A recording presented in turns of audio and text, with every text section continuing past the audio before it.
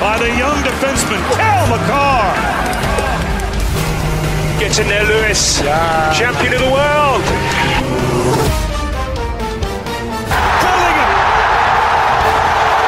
What a moment for the 19-year-old.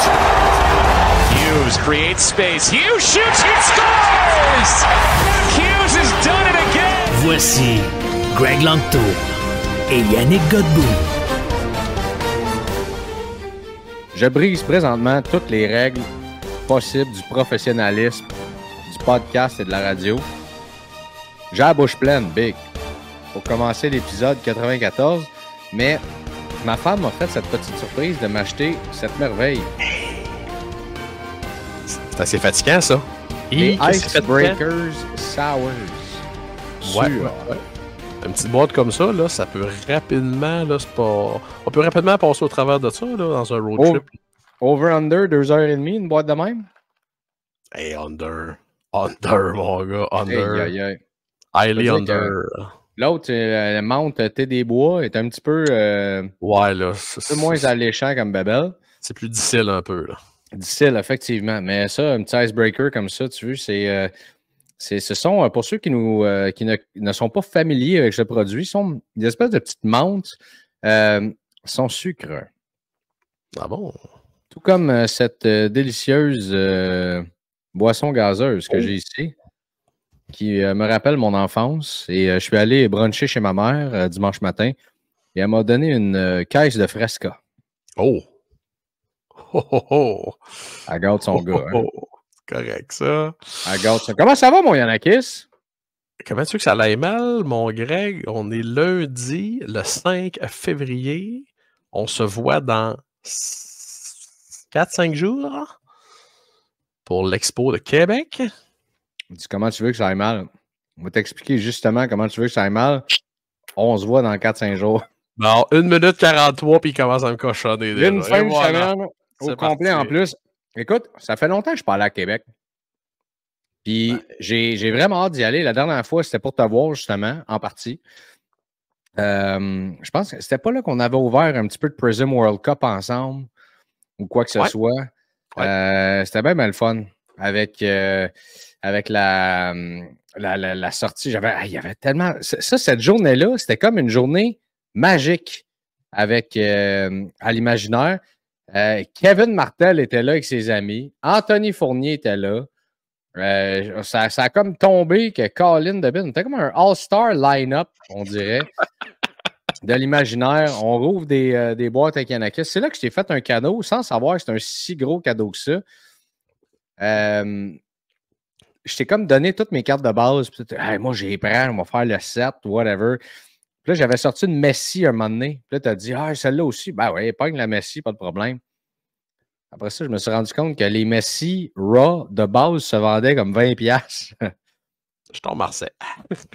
Beau cadeau, mon big. Euh, C'était quasiment Ok. le plus gros hit que j'ai sorti de la boîte en plus. J'avoue que tu t'étais fait quand même visser pas pire dans cette boîte. Ben, écoute, avec ma chance légendaire, hein, n'est-ce pas? Chance légendaire qui euh, me suit toujours. C'est pour ça, hey, ça fait tellement longtemps que je n'ai pas ouvert de produit. là. Je pense que je n'ai pas ouvert de paquet depuis, depuis SP Authentic. Ouais, fais un petit bout. Fais un petit bout. Je pense que t'es dû. Je serais dû. Mais là, on rouvre quoi? Est-ce qu'on ouvre du OPG? All the way. Ça, là, ça, ça va être la grosse affaire de cette semaine. là. Puis, tu sais, je, je m'excuse, là, puis euh, je sais même pas si j'ai le droit de dire ça, là, que tous les haters d'OPC viennent me voir. On va jaser. On va jaser. Puis je suis vraiment déçu, Greg. Euh, ben, je suis déçu, écoute, c'est que partie remise. On allait avoir, j'avais réussi à contacter Monsieur OPC, Frankie Leclerc. Euh, écoute, un homme qui ouvre des caisses d'OPC à la même vitesse que je défonce un sac de Doritos à peu près. Euh, on va l'avoir sur le show la semaine prochaine. Il va nous expliquer pourquoi ouvrir tant d'OPC. Il va nous parler du produit. Euh, écoute, Frankie Leclerc, un des, un des personnages les plus sympathiques euh, dans notre hobby, euh, qui va, oh, il va faire sa première apparition sur notre show. Alors, très, très hâte de le voir la semaine prochaine. Mais là, moi, je veux Et, voir une course. Là. Lui qui rouvre une caisse, puis là, qui mange un sac de Doritos. Là. Je vais, je vais absolument mettre ça sur YouTube. Là. Ouais, ça sera pas chic, là. Ça sera pas chic, là. Ça sera pas chic. Mais non, non, on ouvre Zopichi all the way. Écoute, plus de 30 bédards différentes. Euh, la Marquee Rookie qui se prévend présentement sur eBay à 100 pièce canadien. À base, là. Oui, monsieur. Oui, monsieur. Mmh. Alors, et je fais un, je fais un parallèle. euh, je fais un parallèle entre MVP et OPC. Je me souviens quand MVP est sorti, les gens disaient Ouais, c'est de la scrap, il n'y a rien là-dedans. Mhm.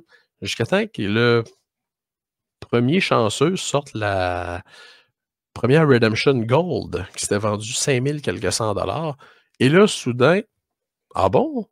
MVP n'était plus de la chenoute. MVP s'était transformé euh, tel la grenouille se transforme en prince. MVP s'était transformé de chenoute à de. Là, on va régler un autre dossier que de toute façon va être réglé tout, tout le long de l'année. Il n'y aura pas un produit pas bon avec Connor Mais Bedard. non, mais année. non. Et T'sais, voilà. Il n'y en aura pas. Euh, on l'a dit la semaine passée, on va continuer de le dire. Il n'y en aura pas. T'sais, tous les Mhm. produits cette année, on l'a vu avec MVP, on l'a vu avec Artifacts, euh, on- avec tous les produits. Puis là, c'est la première carte, à part la SP1, puis je n'ai pas besoin de vous expliquer les prix de la SP1, là, euh, qui se vendent encore. On va regarder sur Slab Sharks tantôt. Il y en a une présentement, une PSA 10 sur Slab Sharks, c'est à 6600. Je veux dire, et là, on, a beau, nous autres, se, taper dessus dans les groupes Facebook en se disant ça n'a pas d'allure, ça va baisser. Tu sais quoi, j'ai comme une, une théorie que je trouve plate en même temps parce que je pense pas que c'est des collectionneurs de hockey. Je pense que c'est des gens qui veulent entrer dans le hobby du hockey avec Connor Bedard qui vont aller chercher cette carte-là. Puis ma théorie repose sur le fait suivant. PSA qui ont la valeur globale dans le marché la plus haute, les PSA 10, il n'y en a pas beaucoup. Euh, la- la 20, pop je pense. augmente d'une façon. Oui, 20 la semaine passée, mais c'est sûr que ça augmente d'une façon vertigineuse. là. Euh, ça, va continuer de, de- de doubler par-dessus doubler. Euh, J'en suis convaincu. Il y, a certaines copies qui sont bien clean. Euh, PSA qui se demande euh, bon, tu te lèves une journée, puis euh, ça grade fort, puis une autre journée, ça grade dur. Puis les copies qui viennent des packs, qui commencent à rentrer, sont très clean également, de, de Ah, ce qu'on est capable sûr. de voir à date. là. Donc, je pense que ça va, euh, la pop va continuer d'augmenter sur ce produit-là, cette carte-là, c'est-à-dire. Mais si tu as regardé la semaine passée, je ne sais pas exactement à combien elle a fini, mais il y avait une tag 10 de cette carte-là qui est sortie. Et jusqu'aux dernières heures, dernières minutes, elle était comme à 1600 dollars canadiens. Et là, on se parle, on est lundi soir, et il y en a une PSA 10 qui est à 6600. On sait que, tu sais, c'est pas nécessairement plus dur avoir une, une, une tag 10 qu'une PSA 10, par exemple. Mais, sachant les, les, euh, les problèmes de edge et de coin, PSA va le prendre en compte, ça. On le sait, là, en disant, bon, OK, il y a ce défaut de fabrication-là, alors on n'en prendra pas trop compte lorsqu'on va évaluer la carte. Tandis qu'une compagnie comme Tag, qui, elle, grade de façon euh, digitale, elle va, euh, elle va en prendre automatiquement en compte, tu comprends? Et aussi la réputation, comme je disais tantôt, de PSA qui, qui n'est plus à faire, qui est le, le- king du retour sur investissement. Lorsqu'on on grade 10, ben, se vend encore très, très fort versus la tag 10. Puis quand tu regardes dans le hobby du hockey, habituellement, pour des Future Watch, des, des Young Guns, n'importe quoi, on va à peu près avoir un ratio de 100% Il y a même dans certains joueurs qu'on va vendre plus cher la tag 10 que la PSA 10. Euh, et je trouve ça, en fait, ça, ça- ça me- ça- ça me met à terre qu'il y ait tant de monde que ça qui rentre dans le hobby pour Connor Bedard puis qui paye ces prix-là. là. Donc, c'est du monde qui arrive probablement du basketball, du football puis qui ont de l'argent. sais. Oui, et euh, ça ne peut avoir que du bien. Puis je t'explique. Tu sais, J'avais exactement la même discussion qu'un client en fin de semaine, puis je disais, il y a vraiment beaucoup de gens là, qui, cette année, ont regardé leur premier match de hockey en peut-être à vie et peut-être en de très nombreuses années. Ces gens-là ont découvert Connor Bedard. Ces gens-là ont entendu parler de Connor Bedard. Ces gens-là rentrent dans le domaine du hockey.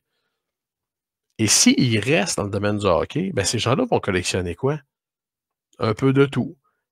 Ça, ça veut dire que les prix de toutes les grosses cartes importantes dans notre hobby, je parle d'une Crosby, Ovechkin, McDavid, Macar, Young Guns, tout ça a des chances de prendre une certaine valeur parce que on a un nouveau bassin de collectionneurs qui rentre, qui commence à zéro, dans le fond.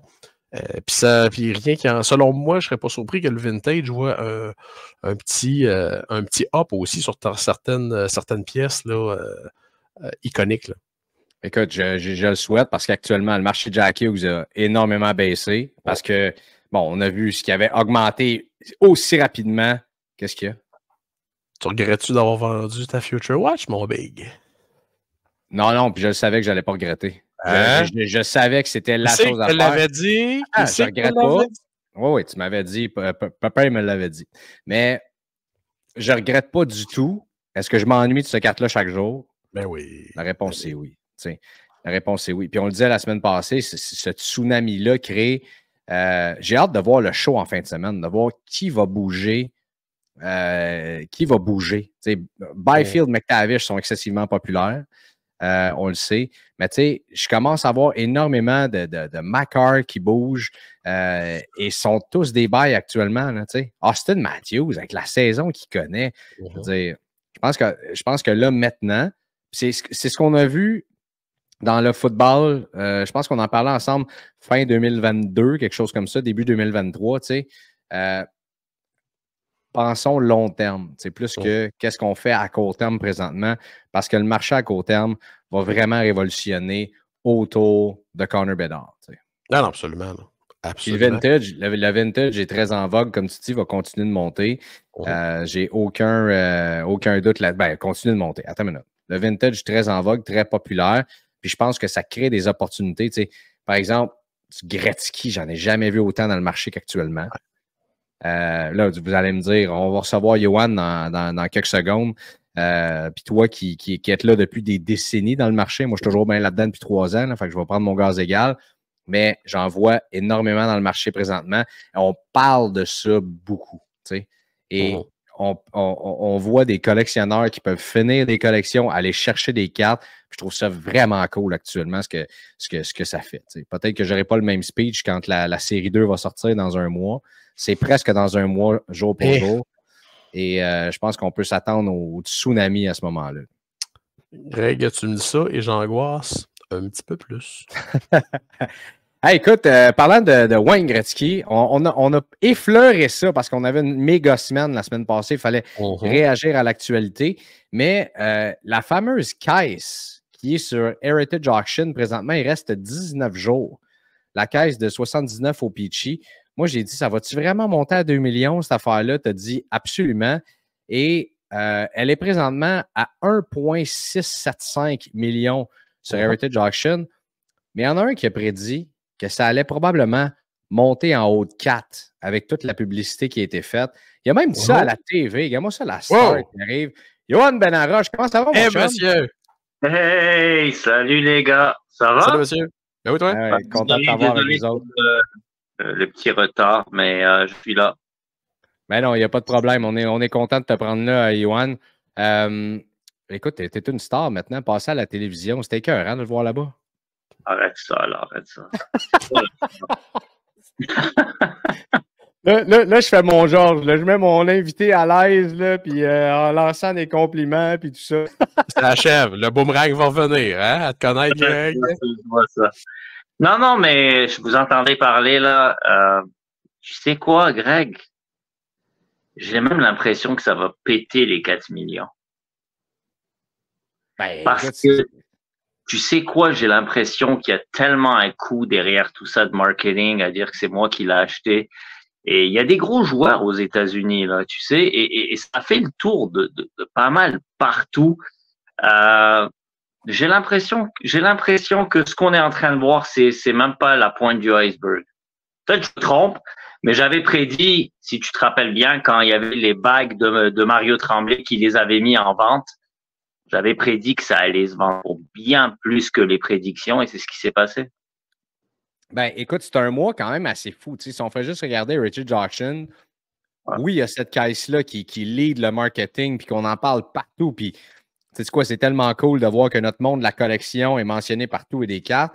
Euh, il y a aussi la collection Mike Bossy qui est en vente actuellement, qui est partie.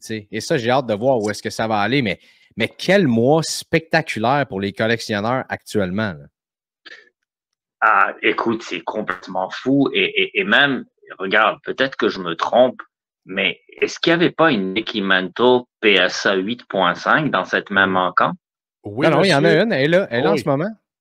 Ah, guys, attendez, elle, est passée sous le radar. Ça a comme si c'était rien, mais c'est possible que c'est elle qui va finir peut-être plus haut que n'importe quoi, là. Il y a une PSA 9 aussi, là, qui est euh, absolument savoureuse, là, dans, ce, même encan-là. Là. C'est complètement débile ce qui se passe dans le monde, surtout du vintage. Hein? Greg, mm-hmm. tu le mentionnais il y, a pas, il, y a, il y a quelques secondes de ça. Vintage est en train de, de, de, de, faire un nettoyage ces derniers temps et surtout dans le hockey, c'est complètement fou les, les, les, prix, les choses qu'on voit ces derniers temps. Euh, peut-être que les gens sont un peu patients. Peut-être Connor Bedard, euh, il y, aura des belles surprises qui vont nous attendre en pas long là. Mais pour le moment, ouf. J'ai une bonne question là-dessus parce que les deux, vous êtes des, experts en vintage, puis moi, euh, loin de là. Je connais absolument rien dans ce marché-là. La PSA 8.5 est à 987 500 présentement. Donc, euh, on dit, euh, eux autres, ils donnent une value de 3 millions sur cette carte-là. Donc, j'ai hâte de voir où est-ce que, est-ce que ça va monter. Mais est-ce qu'il y aurait des gens qui ont, tu sais, quand on voit, tu dis, il y a beaucoup de vintage, ça se vend, ça se trade énormément, puis ça, ça connaît une recrudescence est-ce qu'il pourrait avoir certains de ces collectionneurs-là, ces investisseurs-là qui pensent que, bon, regarde, là, c'est peut-être le moment de cacher out et de réinvestir dans un autre marché à l'arrivée de Connor Bedard? Vas-y, Juan. Euh, tu poses la question à qui, à moi? oui, d'abord à toi. Euh, c'est toi qui connais le plus, ça le plus, puis après ça, l'autre, il répondra. Oh, ben l'autre est pas mal bon aussi. euh, regarde, de ce que j'ai appris moi dans toutes mes années là, les gars de vintage restent dans le vintage. Et les gars qui collectionnent toutes les cartes présentes restent dans les cartes présentes. C'est très rare que tu vas voir quelqu'un qui touche un peu aux deux. Euh, les gars de vintage restent dans le vintage. Les gars qui collectionnent, tu sais, les, les, les Ovechkin, les Crosby, euh, c'est toute cette era là de McDavid et, et des Cup restent dans ce genre de marché. Des fois, ils, changent de sport. Ils vont aller dans d'autres sports. Tu sais, ils vont aller toucher un peu des Mike Trout, ils vont aller toucher quelques cartes de Michael Jordan ou de LeBron, mais ils restent tout, tout, toujours dans les cartes récentes. Par contre, les gars de vintage, je pense pas qu'ils vont cacher out. Et s'ils cash out, je pense pas que ça va aller dans le corner radar. Ça va rester dans le vintage. Parce que, euh, en fait, je, suis content, je suis content d'avoir ta réponse. Je vais, prendre celle de, Yannick avant de dire. Ma question est arrivée complètement, juste en regardant ça, parce qu'on parlait de Connor Bedard. Fait probablement qu'il y a bien des gens qui nous écoutent dans le tour et disent Ouais, il est fou d'avoir posé la question. Mais en même temps, on en entend tellement de gens qui sont curieux, qui ne sont même pas dans le hobby, dire Hey, euh, combien ça coûte ça, du Connor Bedard? Il me semble que j'ai goût d'embarquer là-dedans. Fait que je me dis, même s'il y a des gens qui sont, par exemple, dans le vintage, qui se disent, Garde, peut-être que j'ai beaucoup de ça, tu sais, en liquider un peu puis embarquer dans quelque chose d'ultra moderne. Il y en a qui, c'était, euh, pour ceux qui nous regardent sur YouTube, tu étais pas mal d'accord avec le propos de Yohan. Les collectionneurs de vintage sont dans le vintage souvent jusqu'à, la fin de leur jour. Ou, maintenant, rendu à un certain état, un certain point dans leur vie, ils vont dire Bon, je suis rendu à 80, 85, 88 ans. Euh, plutôt mes enfants vendent ça, qui savent, je ne suis pas trop au courant de la valeur, je vais vendre aujourd'hui. Puis les gens qui quittent le vintage, ben, c'est place que je vais dire, souvent ils vont quitter la planète dans les temps qui vont suivre. Euh, quelqu'un qui va vendre son vintage mmh. va peut-être réinvestir, exemple, dans du Mantle, dans du Johnny Unitas, dans mmh. du Bill Russell, tu sais, ce genre de choses-là. Mais je vois très mal quelqu'un dire «Hum, Moi, là, j'ai une Gretzky PSA 8, je vais vendre ça, puis je vais m'acheter une belle Young Guns de Bédard. Absolument pas. Parce que la mentalité des collectionneurs de vintage, c'est c'est impossible que tout ce que j'ai perde un sou. Parce que c'est de la valeur mmh sûre. Alors, de, entre guillemets, de cash in, pour acheter de quoi comme ça, on oublie ça. Et oh, tu sais, pas une chose, Greg. Puis One va être d'accord avec moi. Les gens qui collectionnent du vintage, tu l'as- ils collectionnent, ils investissent pas. Ils- Quand Ah. ces gens-là sortent 10, 15, 20 000 dollars pour une collection, pour une carte, pour quoi que ce soit, c'est pour mettre dans leur collection, puis le regarder et se dire Wow, je le possède, je l'ai maintenant. Ouais, Alors- ouais. 100%, 100%, je suis tellement d'accord avec toi. C'est comme, c'est comme, je regardais, parce que j'étais tellement curieux, dès qu'on a parlé de la caisse de 79,80, je suis allé voir, tu sais, les, les, les, les, les, les sets, tu sais, les, les, euh, de, de PSA, les, les j'étais curieux de savoir quelle était la série la plus spectaculaire de 79,80. Et je suis tombé du cul quand j'ai vu que la moyenne était de genre 9.2 et que le set était 100% completed. Dans le gars, le gars qui a complété ça, là, il est arrivé à avoir une moyenne de 9.2 sur 10 sur ses 396 cartes. Greg, est-ce que tu réalises c'est quoi?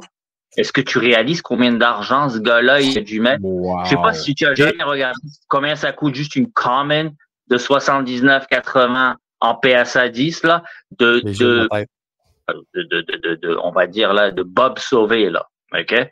C'est incroyable. Et le gars, comme il te vient de dire, c'est que les gars, il le fait pas pour l'argent là, parce que l'argent, il en a mis en Joie le vert. Passion. Il le fait pour avoir la plus belle série. Il le fait pour et c'est ça les gars de vintage. Je suis tout à fait d'accord avec ce que tu viens de dire. Puis le temps que ces gens-là ont mis dans ces collections-là, ça se compte même plus en centaines, en milliers d'heures. Oublie ça, c'est plus que ça. Là. Alors non, tu non, je crois pas. euh, je crois pas qu'on va voir des gens sortir du vintage. Mais moi, j'ai une autre question. Euh, je faisais une petite recherche pendant que vous en début d'entrevue. La seule unique caisse de Flair 1986-87 basketball s'est vendue 1,8 million. Ce qui, là, au moment où on se parle, selon moi, est un cadeau. Parce que si la Ben caisse d'OPG est rendue à 1 point, t'as dit quoi, 1.6, 1.7? Un point, ben oui, 1.7 là, Oui. rendu là. 1.7. Il y a un premium. Il y a un premium aussi là-dedans où tu l'as calculé. Euh, non, j'ai juste regardé le prix qui était là, donc il faut ajouter le buyer premium probablement. Ouais. là, parce Ah. que c'est le current bid. Fait que, ouais, il faut définitivement ajouter le buyer premium. Donc 1.675, on tombe à quoi? euh, presque, ouais, on est à un point, en haut d'1.8. là. Oui, facile. Ça veut dire que la caisse de 1986-87 Fleer, c'est un cadeau à 1,8 million. Mais je vais te relancer la balle. Est-ce que tu penses que c'est la seule caisse de 86-87 qui existe? Jusqu'à présent. Et boy, il y en a Drake, en Drake, a pas ouvert une l'année passée? Une boîte. Ah, c'était une boîte, c'est pas une caisse. Ouais. J'ai le feeling que si j'avais un petit 2 à mettre, que il y a quelques caisses de 86-87 qui sont en existence chez quelques collectionneurs, mais que la caisse de 79-80, c'est un pur miracle qu'elle existe. Euh, évidemment, évidemment, ne comparons pas les deux, parce que Non. 86-87, c'est pas juste Michael Jordan, là. C'est l'OD de Hall of Fame, là. Ouais. C'est, la, série Fleer 86-87.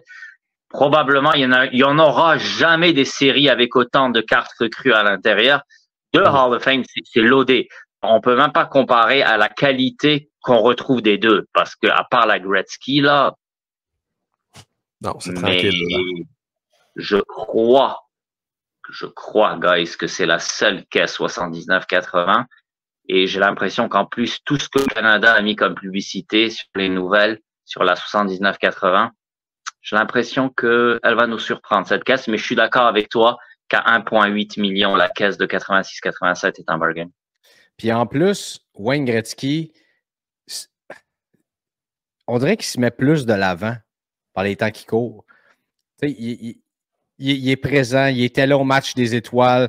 Euh, ses gars s'impliquent beaucoup aussi. Vous avez vu euh, euh, Gretzky's Basement qui était là. Est-ce que vous avez regardé ça là? Euh, pendant toute la semaine des étoiles? Tu n'as pas vu ça? Gretzky's Basement, ils ont, ils ont créé un endroit. D'ailleurs, les gars de Spittin' Chicklets sont allés sont allés enregistrer leur dernier épisode dans le Gretzky's Basement où est-ce que tu as tous des objets de collection qui appartiennent à la famille, qui appartiennent à Wayne Gretzky, qui sont sur place.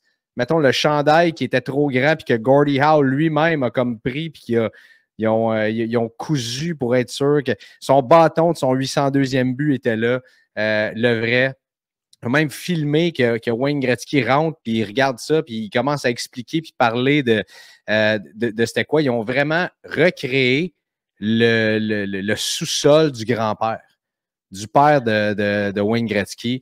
Et les petits-fils sont impliqués là-dedans, de Walter. je veux dire, donc, notamment, il y a ça, mais l'entrevue qu'il a fait à Spittin' Chicklets pour Noël, euh, il, est out there dans, dans, des médias, même la télé, et je le trouve très disponible. Donc, je trouve ça intéressant de voir qu'il reste impliqué pertinent comme ça euh, dans le marché. On demande constamment son opinion sur des jeunes joueurs, McDavid, Bedard, Jack Hughes. Et, et, tu vois, Greg, c'est pour ça que Wayne Gretzky est la personne qu'il est. Et il a l'importance qu'il a dans le hockey et dans le hobby, ce que Mario Lemieux n'a pas. Ah, 100%. Oh, ah, tu viens de. J'allais, tu me l'as volé de la bouche. Là, ça. the mic. That's it. That's it. Hey boy. Et, et ça, et ça, j'avais déjà lu, j'avais déjà entendu une entrevue, c'est Gordon Howe qui avait dit à Wayne Gretzky. Là, j'espère que tu vas comprendre l'importance que toi tu as. Parce que Gordon Howe, il avait dit Moi, je m'en vais. Puis maintenant, c'est toi. Compris? Alors maintenant, tu signes des autographes, tu prends des photos, tu sers des mains, tu embrasses des bébés. tu vois-tu, tu es un politicien en patin. C'est toi le visage de ce sport-là. Et ça jusqu'à la fin de tes jours. Et tu sais quoi, je pense que on a vu un peu le flambeau remettre encore. Je compare pas Gretzky ou Crosby, mais on a vu Crosby agir de cette façon. Ah, on voit McDavid en train de, de, tenir le flambeau et peut-être que dans dans 20 ans de là, quand peut-être Gretzky, et je lui souhaite de vivre jusqu'à 100 ans là, et qui sera plus là, je vois McDavid faire ce que Gretzky est en train de faire, ce que certains joueurs n'ont pas cette capacité de faire. Et encore, avec tout le respect que j'ai Mario Lemieux, je le considère comme étant le plus beau talent de tous les temps. Je le considère comme étant le joueur le plus spectaculaire. Mais à mes yeux, Gretzky reste le GOAT. Mhm. Pour ah plusieurs raisons. Pour plusieurs raisons. Pas juste pour ce qu'il représente au niveau, ce qu'il a été dans la glace, mais tout ce qui est même à l'extérieur de la glace, tout, tout ce qu'il a emmené dans le hockey. Guys, rappelez-vous, là, les Kings, ils étaient sur le point de faire faillite et c'est lui qui a ramené le hockey aux États-Unis. C'est sûr que Mario Lemieux, il a sauvé les Penguins de Pittsburgh. Eh, comparons des pommes avec des pommes, Ouais. Il, a, sauvé les Pingouins. Il ne s'est jamais levé à son repêchage aussi. Hein? Il a fait Eric, naître... Eric Lindros, lui, s'est levé à son repêchage. Gretzky a fait naître le hockey en Californie. C'est vraiment ben lui. Tout ce qu'on voit aujourd'hui, la franchise des Kings qui est excessivement importante et qui fait beaucoup d'argent, les Ducks, euh, les Sharks, tout ça, ça part de Wayne Gretzky qui ah, décide de s'en aller à, Los Angeles. Et tu as raison ce que tu dis sur son talent. Le, premier à le dire, c'est Wayne Gretzky. Mm-hmm. Il dit si ce gars-là était resté en santé, il aurait battu tous mes records, tout le reste. Euh, puis j'aime ça qu'on parle de Sidney Crosby parce que je trouve tellement que ce gars-là, actuellement, est undervalued, puis qui passe en dessous du radar. Puis ça, ça a commencé avec la chasse au record d'Ovechkin. Puis après ça, euh, là, on voit Connor McDavid avec ses performances de fou. Puis là, on voit Connor Bedard arrive. Puis dans le marché de la carte, il n'a même pas été pris pour le concours des habiletés. Puis il était là en train de faire des passes. Il a participé à toute la journée média à, tout ce qui était euh, euh, concours des habiletés. Il était là pareil, il était assez avec les joueurs, il a passé du temps, il, a juste montré sa face, puis il était content d'être là. Euh, c'était Sidney Crosby, là. C'est la ah. classe avec un grand C, ça n'a aucun sens. Ben Et pour moi, de voir. on parle de Connor McDavid. Qui, qui va prendre le flambeau de Gretzky par la suite? Est-ce que ce sera partagé entre. Tu sais, McDavid, je trouve, commence à se dégêner en ce moment. Là, de, de plus en plus, il commence à être à l'aise, il parle, puis tout ça. Mais au niveau charisme, passion, gentillesse, c'est Nick Crosby. Là. Et il y a des histoires qui tournent autour aussi. Il y a des histoires, tu sais, comme on avait entendu l'histoire où il était parti au Mont-Tremblant, il a commencé à ben jouer. mais, mais apparemment que lorsque tu vas euh, dans les maritimes et, et, et tu vas euh, dans, dans sa région de Halifax, tout le monde te parle de ces histoires-là. C'est, incroyable la générosité que ce gars a. Euh, je, je l'ai rarement vu. Je sais qu'on fait, on fait des comparaisons. Des fois, on a tendance à vouloir comparer. Bon, dans ce cas-ci, McDavid, qui est comme un peu timide. Mais euh, lorsqu'on on voit Ovechkin et, et qu'il est qui va battre le record, même s'il est en mode ralenti présentement, parce qu'à un certain moment, il va redémarrer, il va jouer et il va pouvoir le battre. Avec tout le respect, là, Sidney Crosby reste de loin et de loin, de loin, la, la personne la plus honorable des deux et qui va être, qui aura une plus belle carrière. Euh, Tabo a marqué tous ses buts, mais encore, tu sais, c'est tout ce qui se passe à l'extérieur de la glace, comment les tes coéquipiers. Tu sais comment Georges parle de, de, de, de Sydney. Mhm. Tu sais, il, il, a joué avec je ne sais pas combien de joueurs, mais il parle de ces. Chaque fois que Georges parle de Sydney, tu vois des, des étincelles sortir de ses yeux-là. Et ça, ça, ça, ça doit démontrer à quel point ce gars, il doit être respecté dans la ligue. Là, ça n'a aucun bon sens. Ouais, ben, ben, comme on disait plus tôt, je pense que lui aussi a compris qu'il est l'ambassadeur. Le jour où Wayne euh, sera plus de ce monde, ben, ça va être Crosby qui va prendre le flambeau. Et on s'entend, c'est pas euh, le, travail d'ambassadeur que Wayne fait, c'est pas tout le monde qui aime ça. Euh, c'est pas tout le monde qui aime les Kodak puis les caméras c'est pas tous les joueurs ne sont pas des piquets sous à courir les caméras.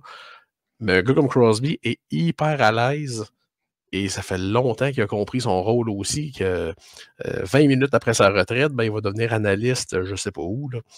Non, puis les gars sont pas obligés d'aimer ça, puis c'est correct. Il y, a, il, y y, a, tous les types de personnalités, mais quand tu regardes, Ovechkin n'était pas là en fin de semaine. Euh, je veux dire, vendredi, quand j'ai regardé ça, je l'ai vu nulle part. Euh, Crosby était là, mais c'est les gars, tu sais. Est-ce que tu dis Piqué Souban? Est-ce que Piqué Souban a connu une carrière Hall of Fame? Je veux dire, non. Mais est-ce que Piqué Souban fait, a fait progresser le hockey? Big time. Oui. Oui. Time, ça a été un showman. Ça a été un showman. Ça a été, voilà, ça a été, ça a été un gars qui, qui, qui, a donné, qui a donné une, une un genre de, de, de signature, de, de, de, fun, qui a emmené un crowd qui n'existait pas. Euh, mm -hmm oui, oui, tout à fait, tout à fait. Dans un gros marché comme Montréal, il, mais encore là, non, je pense pas que c'est parce que tu as été un showman que nécessairement tu dois rentrer au temple de la renommée. Mais non, non, absolument bon, pas. Non, non, mais je veux dire, fait progresser le hockey. Fait que c'est pas juste oh, les performances sur la glace nécessairement. Tu sais, le charisme que tu as. Fais juste regarder en ce moment. Puis là, vous allez me dire que je suis vraiment en retard au party, puis vous avez tellement raison. Mais de plus en plus, j'ai même texté Yanakis en fin de semaine je découvre Paul Bissonnette. Ce que ce gars-là aussi, avec sa, nature, ce qui amène au hockey, sa proximité avec Wayne Gretzky, c'est tellement drôle. Vous irez voir ses médias sociaux dans cette histoire-là du Gretzky's Basement, euh, qui rencontre la mère de Paul Bissonnette, puis il dit Hey, je comprends pas, vous êtes vraiment une jolie madame, qu'est-ce qui est arrivé avec votre fils? et de voir cette espèce de, de camaraderie-là euh, ça, ça, ça, en est encore des, des, des, gens qui font progresser le hockey. Puis, c'est pas nécessairement les, les, les, performances sur la glace. Je pense, je pense qu'on peut absolument mettre Georges là-dedans aussi. Ben oui. Euh, et, et, et, on pourrait nommer d'autres noms aussi, mais je veux dire, pour moi, euh, c'est important, puis il faut reconnaître ça aussi. En, en, au-delà des performances qui, qui, se donnent sur la glace, à quel point les gars s'impliquent dans leur communauté et dans les médias, puis ils font progresser le sport également. 100%. D'accord. À 100%, ouais, tout à fait. Bon. Quoi, on parlait de ça? Je, je me souviens plus où est-ce qu'on s'est rendu.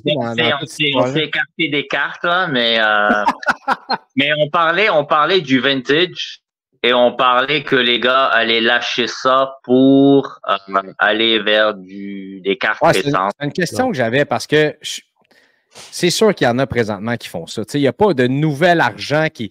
Là, on parle de millions et de millions qui vont s'investir dans le, dans, dans, le hobby du hockey dans la prochaine année. Là. Et là, ça va commencer la semaine prochaine avec OPC qui sort euh, et par la suite avec la série 2. Ce n'est pas de la nouvelle argent fraîche qui arrive tout d'un coup.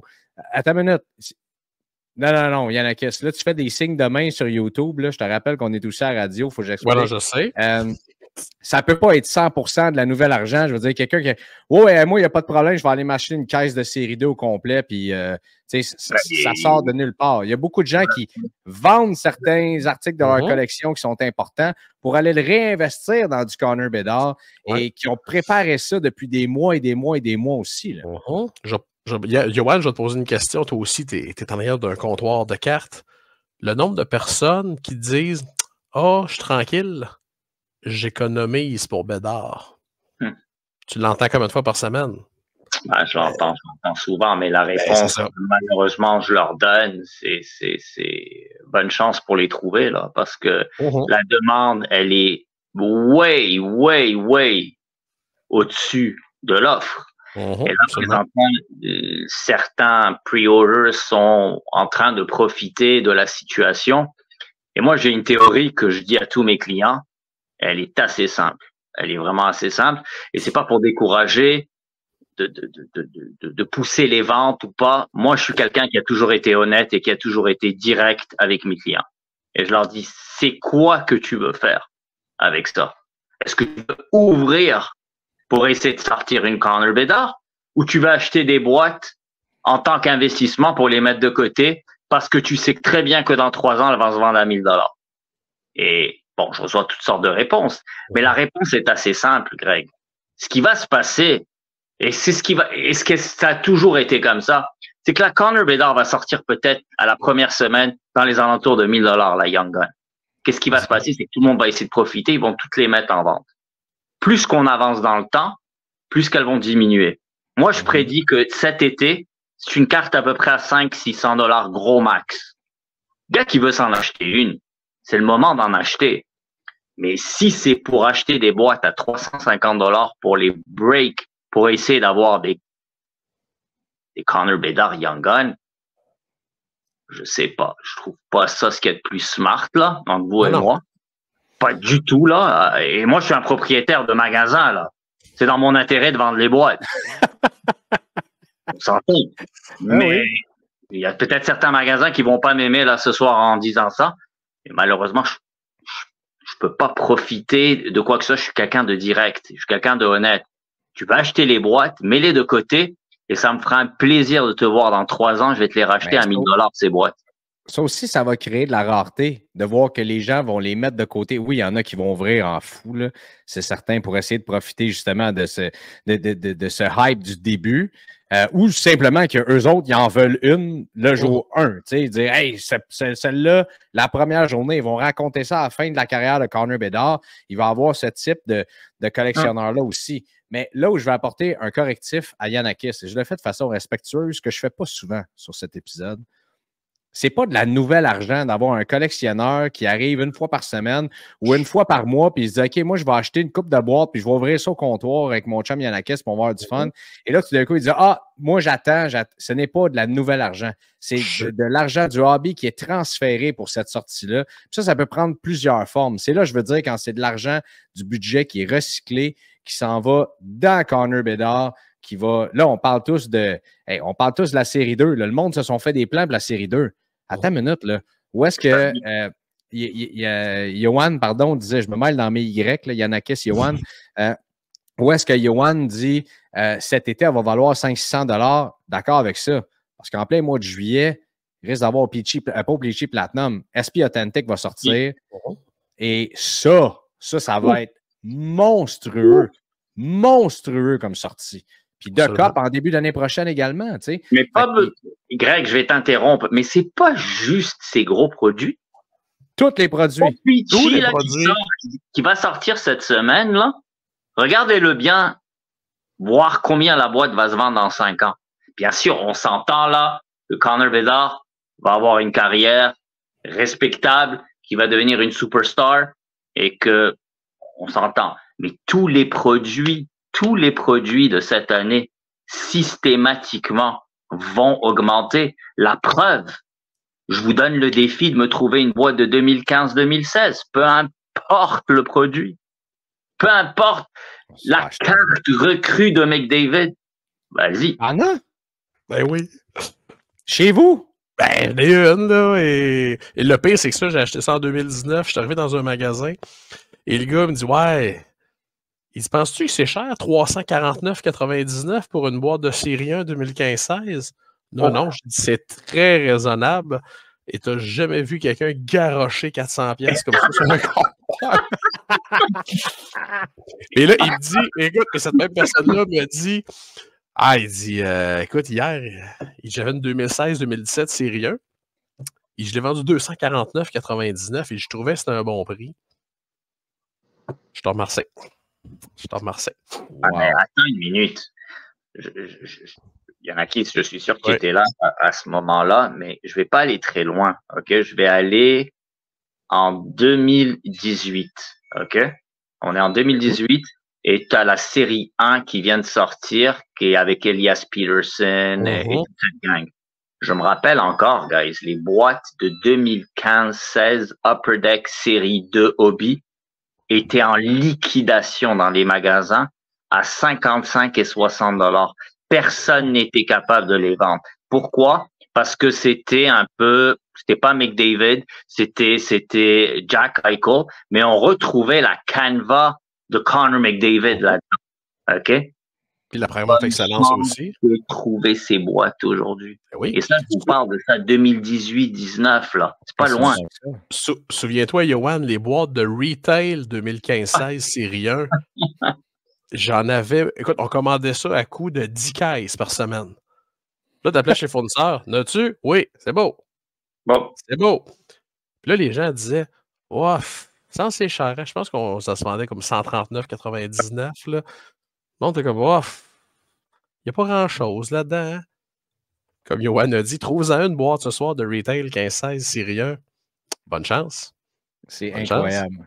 Et, et, tu sais, ça prend de la vision de voir ça, de dire Ben oui. écoute, quand je vois qu'il y a quelque chose en rabais comme ça, de les acheter, mais tu sais, Mhm. de croire en un joueur puis d'être patient aussi. Tu sais, Ouais. pas dire, OK, là, je pogne les nerfs, puis euh, après avoir acheté, tu disais en 2018-19, dire, OK, euh, laisse faire, je revends tout. Ou, euh, tu sais, puis on en a tous des histoires comme ça qu'on regrette d'avoir vendu telle carte. Ou, euh, tu sais, puis vous autres, vous êtes là depuis tellement longtemps, vous en avez entendu des histoires comme ça. Puis mais, mais, euh, mais- vous en avez vécu aussi. Non, tout à fait. Et et- et- et- et il y en a qui se fait rappeler de ces produits-là comme Masterpiece de 2015-16 et, et toutes ces boîtes-là que les, les- les distributeurs essayaient de, de- de se débarrasser parce que ça ne se vendait pas. Mais encore là, essayez de les trouver aujourd'hui. C'est impossible. Et c'est pour ça que je dis aux gens qui sont obsédés avec la série 2, qui, qui, qui sont prêts littéralement à se prostituer pour essayer d'en avoir une. Ok, Non, mais sérieux. Ah bon? Il y a tellement d'autres options. Il y a tellement d'autres choses que vous pouvez aller. Je comprends qu'il y a la Young Gun, mais au pire des cas, vous allez pouvoir vous l'acheter. Mais il y a tellement de produits qui vont sortir cette année et qui vont être tellement intéressants. Et si vous voulez faire des investissements parce que c'est ça votre but et que vous voulez garder les boîtes non ouvertes, écoutez, commencez déjà avec Opichi. Suivez le trend. Il y aura Ice, il y aura Trilogy, il y aura, écoute, même les boîtes de synergie vont être des boîtes dans quelques années qu'on sera même pas capable de se payer. Absolument. SPX, Tout. Oui, tout. toute la gang. Credentials. Les DDM dans SP Game Use, tu sais, c'est, ça ne sera pas une année. Puis on s'entend, euh, on va avoir l'occasion de se reparler, les boys, de, de- de tout ça également, mais 2025, ça va être, euh, ça risque d'être un petit peu plus une sécheresse, là, j'imagine. Tu sais, quand on va avoir vécu ce high-là de fou, moi, j'ai hâte de voir la suite de, euh, après tout l'argent qui va s'être investi là-dedans, comment ça va rouler, où est-ce qu'on, tu sais, le, le, le boom que ça va avoir donné dans le hobby, on va être où? Moi, je m'attends à, tu sais, c'est, c'est un balancier, là. C'est sûr qu'il va y Oui, avoir c'est pas un petit accalmie. là. C'est pas la première fois, Greg. Moi, je me rappelle encore, et il y en a qui se va se rappeler. Écoute, quand l'année 2017-18 est sortie, et tu Oh. regardais les Young Guns et tu te disais, Oh. eh, boy, boy, boy, boy. Désespoir. Comment on va faire pour vendre ça? Non, exact. Tu venais de sortir une année de 2015 avec, avec, avec euh, McDavid. Là, tu avais Austin Matthews et Marner et toute la gang. Là, il fallait vendre du Nico Ischier. Ouais, puis et du Brock Bezer. Mais c'est drôle, tu me parles de ça, ça m'était pas venu en tête. Moi, je pensais à 2014-2015. Encore pire. Parce que Parce que 2013-14, ça avait été McKinnon, ça Ouais. avait été Galchenia Gallagher. Ah ouais, c'était la rookie class. Et là, 2014-15 arrive et le gros nom, c'est Johnny Gaudreau. Ah, On le connaît pas personne, là. Là, comme, c'est qui ça?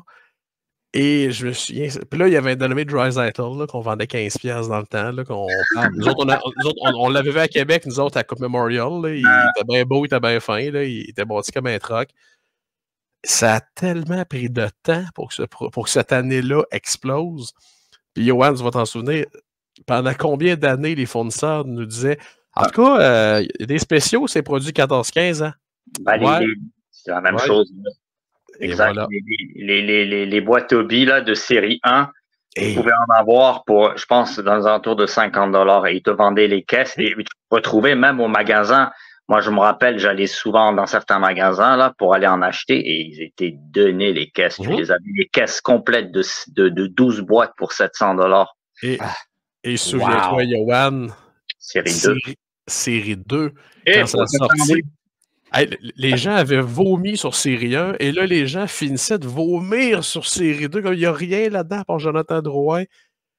Écoute, j'ai vendu l'an passé une Blaster de 2014-2015 série 2, je l'ai vendu 300 Puis la personne m'a dit, c'est un rêve d'ouvrir du 2014-15 série 2 avec. Pasternak et Vasilevski. C'est assurément, mettons, là, dans les 25 dernières années, un des produits les plus limités dans le hockey. C'est impossible à trouver ce produit. Mais Aujourd'hui, messieurs, là, je vous pose la question parce que là, on se dit, bon, la- l'année d'après, ça va être, ah oui, il va y avoir Macklin Celebrini.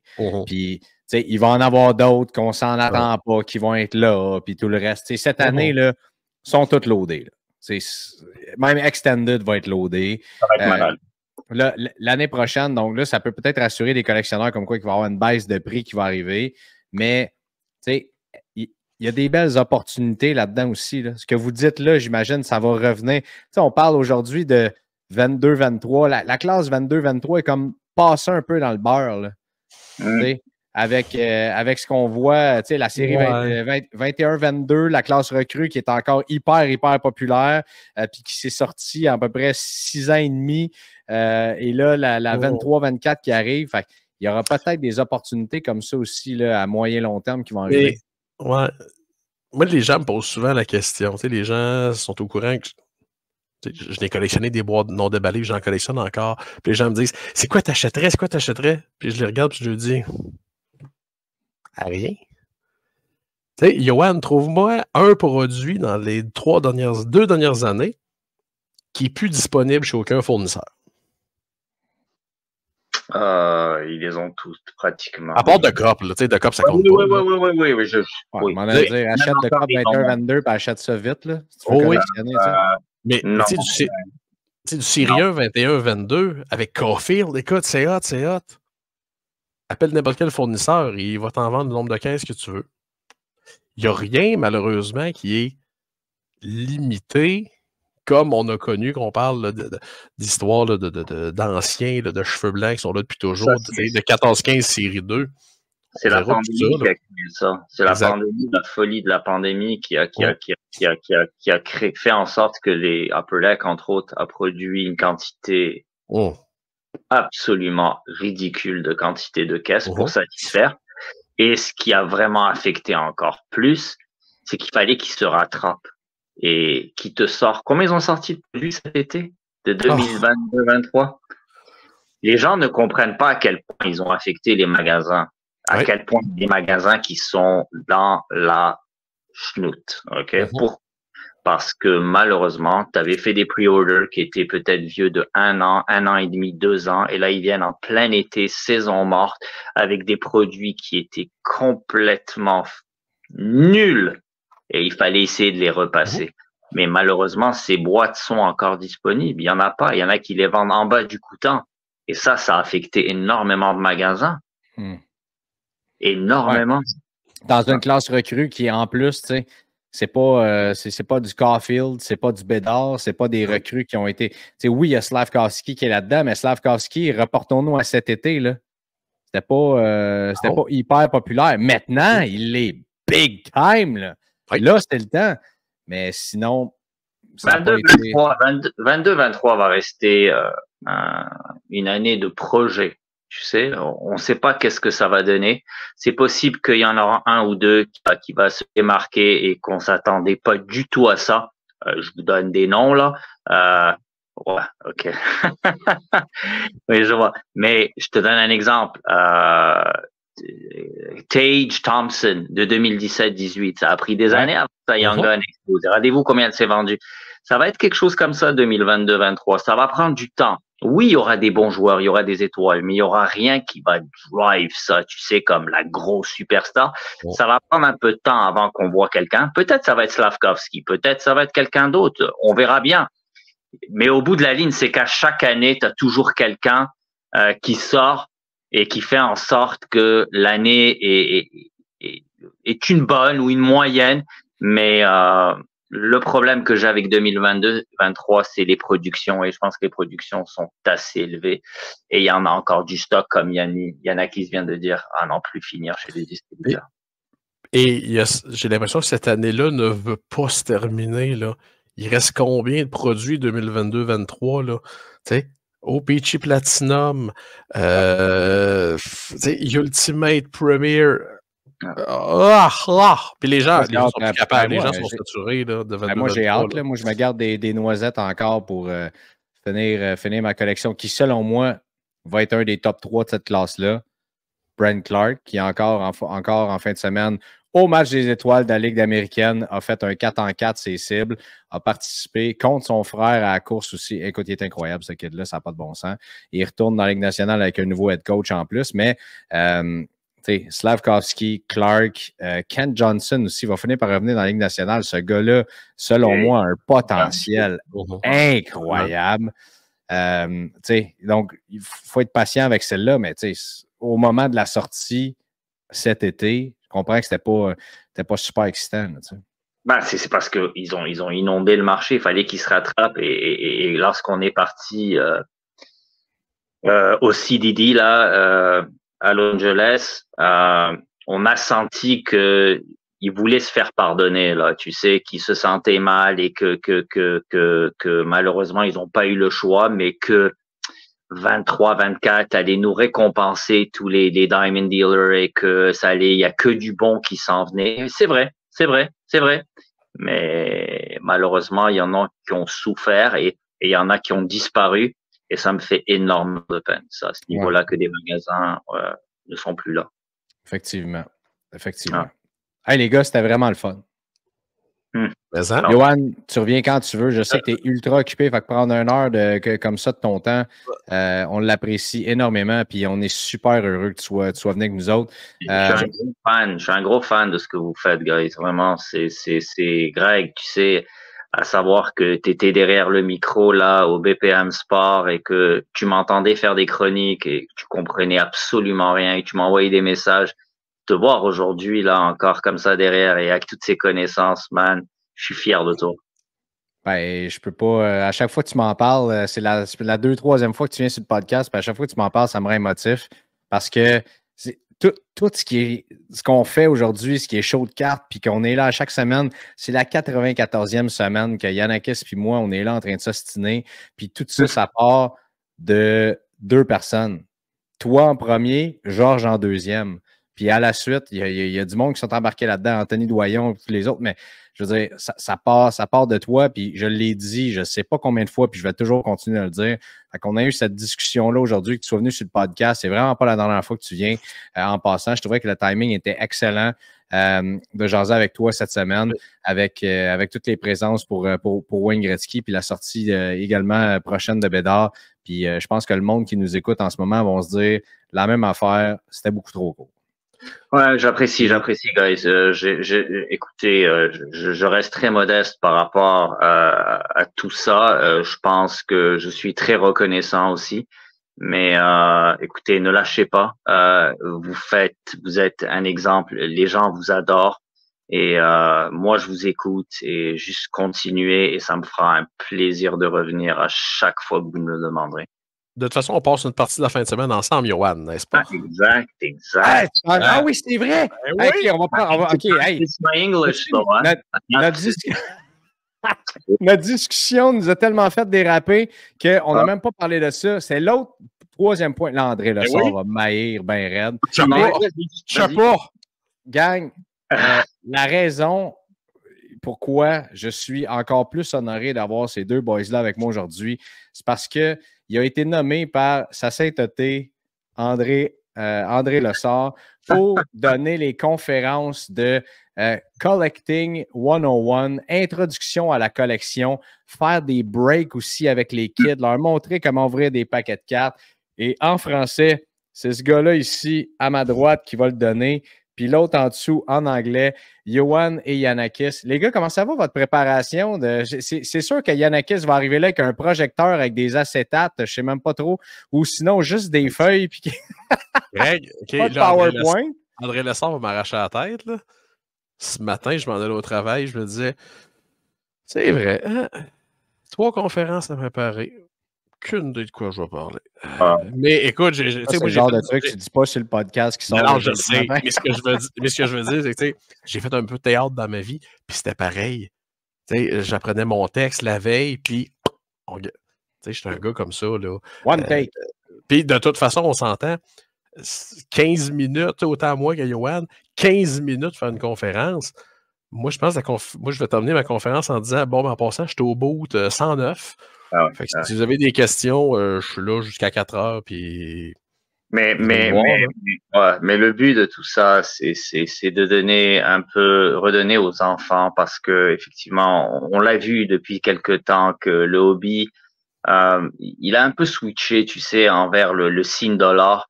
Et là, on a cette opportunité d'aller voir des kids et, et, de les faire triper, là, de les faire capoter, tu sais, de les, de les mettre là-dedans. Et c'est ça ce qui m'a drivé dans ce projet-là. C'est ça ce qui est venu me chercher. Et c'est pour ça que j'ai poussé Georges. Je dis, Georges, tu vas venir avec moi et tu vas ouvrir des breaks. Tu vas, tu, tu vas être là avec les kids. Ça, ça n'a pas de prix pour nous. Il vient. Et oui, Toute la fin de semaine! ben, il s'en vient toute la fin de semaine. Il passe samedi avec nous. C'est lui qui va ouvrir euh, les boîtes pour faire les breaks. Wow. Dimanche, il est avec moi, par exemple. D'ailleurs, vous êtes invité au party du Super Bowl au New City Gas. Euh, et on sera là-bas, mais le samedi. Ah ouais, ça, va être écœur. Ah mon Dieu, que j'ai hâte. Ah, Capoté. Georges sera là pour euh, breaker. Ouais, je lui ai demandé. Il a accepté euh, sans hésitation, direct. Euh, tu connais Georges et sa générosité. Ben oui, c'est, avec des enfants. Là, là, je vous le dis. J'espère que tu fais ça après la conférence. Parce que si ça donne comme la dernière fois que je l'ai vu, quand il y avait des enfants à BPM, les enfants étaient brûlés. Genre, je courais partout dans le corridor, t'entendais Ah! Les enfants le suivaient, puis ils couraient en arrière, bord en pendant les pauses. Ils retournaient en studio, faisaient ça. Donc, ça va être. euh, ah non, j'ai tellement hâte. Puis euh, je pense qu'on va, va vivre un show. Guys, euh, Johan, dis-moi ce que tu en penses. Je pense qu'on va vivre un show complètement unique et passionné avec tous les kids puis les parents des kids qui vont être là. Euh, je pense que ça va être complètement différent des vibes qu'on a vues là, dans les dernières années. 100%. Je- je- je- c'est ça ce que j'ai aimé là-dedans. Tu sais que, que, que le tournoi de Pee-Wee euh, est un peu rattaché à ça. Euh, c'est- c'est- c'est- la, la base de ce show-là tourne sur vraiment les kids, vraiment de s'assurer que on va les chercher, on leur montre comment collectionner. Et euh, lorsqu'on m'a proposé ce projet, on m'a demandé que bon, il y en a qui allait le faire en français, moi en anglais. Bon, j'ai tout de suite, j'ai adoré. Euh, j'ai hâte de vivre ce moment-là. J'ai des petites idées de ce que j'ai envie de faire, mais euh, ça, ça, ça, ça va vraiment être cool d'être avec vous, les gars. Là, on va passer un bon moment. J'ai euh, j'ai hâte de plus en plus. On est lundi soir, le 5, puis ça, ça s'en vient. Malheureusement, je ne suis pas là vendredi, mais euh, je vais être là samedi, dimanche avec vous autres. Moi, j'avais acheté des billets. C'est drôle. Pendant le Sport Hobby Expo du mois d'avril l'année passée, j'avais acheté des billets pour un concert que je faisais une surprise, puis j'amenais ma blonde. Euh, fait que je peux pas y dire, ben, finalement, trouve quelqu'un d'autre pour les billets que j'ai achetés. Je m'en vais dans un show de cartes. Ah. Je pense, que les gars, euh, je pense que les gars, la prochaine fois que j'enregistrerai, ne serait pas dans le même décor que ce que vous voyez actuellement. Dans la rue! Euh, fait que ça sera ça. OK, euh, guys, merci encore. Euh, Johan, merci d'être venu avec nous autres cette semaine. On se Puis, voit. euh, ouais, on se voit là samedi matin. Pour tout le monde Oui. qui nous écoute, vous pouvez con- con- continuer, pardon, je vais finir par le dire, la discussion avec euh, Yannakis et moi sur Patreon. Merci d'avoir été là, puis on se reparle la semaine prochaine. Venez nous voir à Québec en fin de semaine. Salut tout le monde.